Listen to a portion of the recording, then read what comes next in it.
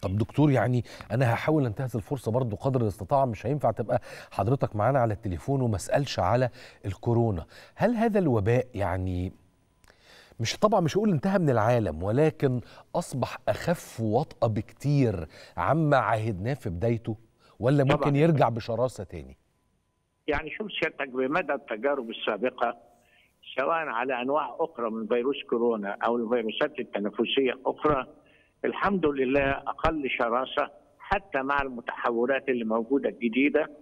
الفيروس أصبح موجود وأصبح متوطن في العالم كله وأصبح أحد الفيروسات التنفسية. إحنا عندنا إنفلونزا الموسمية عندنا ال respiratory syncytial virus اللي هو المخلوي. أيوه. وأنواع أخرى من الفيروسات منتشرة.